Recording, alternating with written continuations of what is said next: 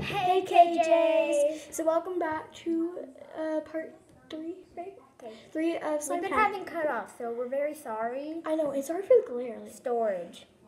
Okay, but okay, so we're gonna start with these. Oh, okay. These were made out of the washable school glue.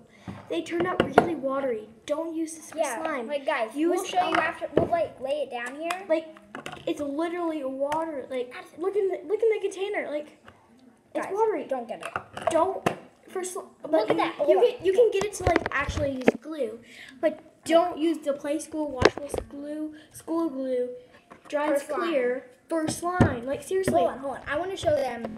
Hold on. Look at that.